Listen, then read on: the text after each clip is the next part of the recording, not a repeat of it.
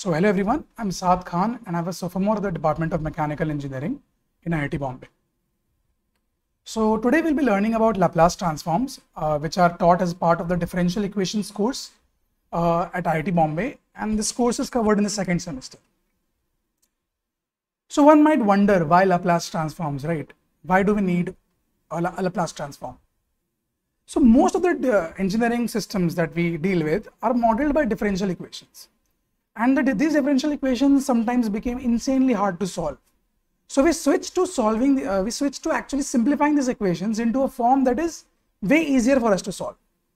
So to actually transform this difficult looking differential equation into a very simpler form, we need a transformation which is called the Laplace transformation.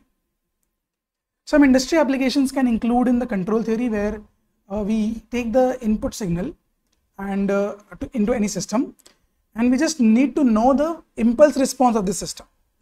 And we can just take these two signals, Laplace transform them, multiply them, and then inverse Laplace transform them to get the general output of that system.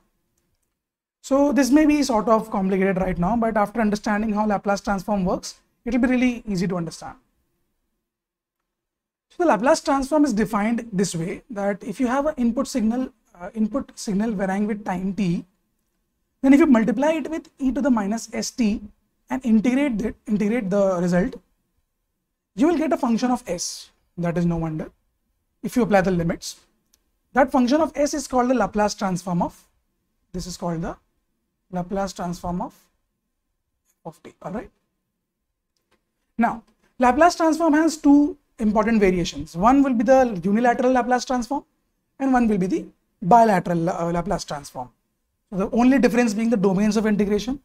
In unilateral transformation, we integrate from 0 to infinity, and in bilateral, we uh, integrate from minus infinity to infinity. All right. So in physics, we consider t as time. So of course, this will be what we majorly use in physics. All right. Uh, where time is greater than 0. So we consider the unilateral transform. But mathematics majorly deals with the bilateral transforms. All right. So mathematics basically deals with the bilateral transforms. Now, uh, you may note that if you have ever uh, seen the form of a Fourier transform, you would see that there's uh, the Laplace transform and the Fourier transform equations are surprisingly similar, right? They both take a function of time as an input and they both multiply this input with some exponential term. The only difference being the coefficient, the, the power to which the exponential term is raised to. Over here it is s and over here it is minus iota omega, alright? So the difference is that S is defined as sigma plus iota omega, as you can see over here. That's how S is defined with sigma and omega both being real numbers, which makes S a complex number, alright? So S may be purely real, purely imaginary, or it may be a complex number in the uh, in the uh, you know iota real and imaginary axis in the plane somewhere else with having sigma and uh, omega both as non-zero. All right. So note that if I plug in sigma equal to 0 over here and I put it back over here, we get the Fourier transform. But to understand it even more intuitively, we'll take this in the second part of this uh, uh, Laplace transform. So now let's look at why we need the Laplace transform if we have the Fourier transform, right? We have another transform. Why would someone even come up with another one? So let's see that why. So most of the engineering signals, the signals that we deal with in, in, uh, in, engineering systems are composed of both oscillatory as well as exponential component. They may oscillate and they may grow or decay over time because not everything is perfect, right? So the oscillatory part is indeed captured by the Fourier transform because as you can see, e to the minus iota omega, all right, e to the minus iota omega, I can expand e to the minus iota omega t as sine of minus omega t plus iota cos of minus iota omega t. So you can look at this. This is a purely purely sinusoidal component, right? So you're sort of multiplying a term with a sine and a cos term and trying to integrate it over the whole domain. So you're sort of trying to figure out what are the frequencies that make up this signal f of t, right? So that's what Fourier transform captures. That's precisely what Fourier transform captures is the frequency that are used to make up the signal f of t. And does not care about if the signal is decaying or it's growing. It doesn't really give uh, like any thought to that. All right. So that's what makes Laplace transform different from Fourier transform because Fourier transform only considers the oscillatory input, whereas the Laplace transform considers the exponential term inside that component as well.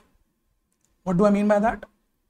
Since my Fourier transform gets multiplied by, the signal gets multiplied by e to the minus iota omega t in Fourier transform, whereas in Laplace transform it gets multiplied with e to the minus s plus sorry sigma plus iota omega t which is nothing but e to the minus sigma e to the minus iota omega t dt.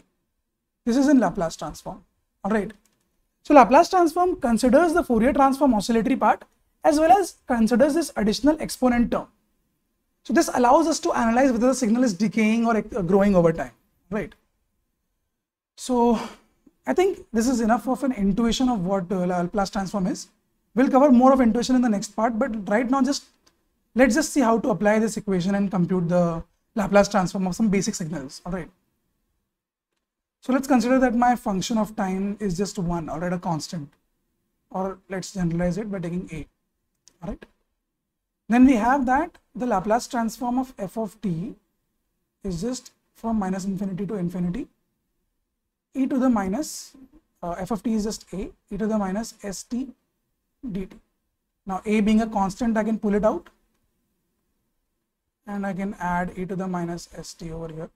So let's just consider the unilateral transform for now.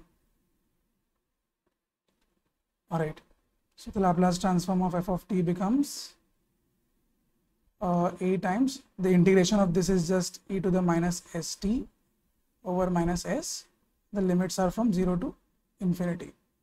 Uh, the note that the integration is with respect to t, all right, just don't integrate with respect to s.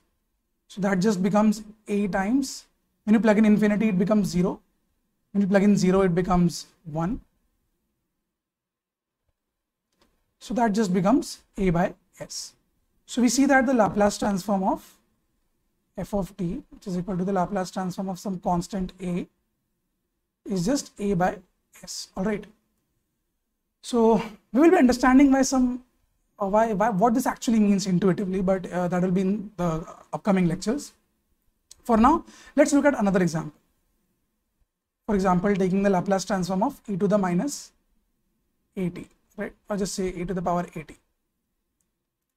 So this will be integration from 0 to infinity e to the at e to the minus st dt so that will be 0 to infinity. E to the a minus s t dt and if we integrate that we get e to the a minus s times t. The whole thing over a minus s and the domain is 0 to infinity. All right. So this just becomes uh, what? If you plug in infinity over here huh, so this is an interesting case so think about it. If you plug in infinity over here, what will happen?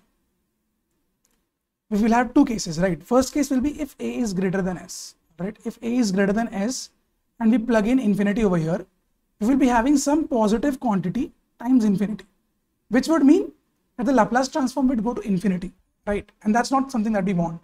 So we want to be restricted to some uh, like finite value of Laplace transform. So the condition of computing the Laplace transform here becomes that S should be greater than A. All right.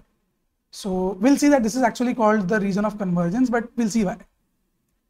So we can uh, consider that S is greater than A. If that is the case, then this term, this term will be negative, right? And we'll have some negative quantity times infinity and that will go to zero. And that is something that we want. This is something really good. So I can write that plug in infinity over here, we get zero minus plugging 0 over here, we'll get 1. 1 over a minus s. So this becomes 1 over s minus a. So all in all saying that Laplace transform of e to the at becomes 1 over s minus a. So you can actually try out different signals and just uh, solve for the solve the integral and then find out whether you were right or not or just google the solutions and see what the actual signal output becomes or the transform becomes and this is a really good practice if you want to solve it by uh, actually performing the integration. Uh, for further signals, like it is really good if you uh, just learn by heart the uh, some standard signals that you just need to remember so you don't have to actually derive, it every time. Uh, learn the, some standard signals like the constant and the exponential and the sinusoidal and the co cosine, things like that. That will really help you in computing uh, the Laplace transform of more complex signals later on. So that's it from my side. I'm Saad Khan uh, from my mechanical engineering department at IIT Bombay. Uh, thanks a lot, and this is 9 Pointer.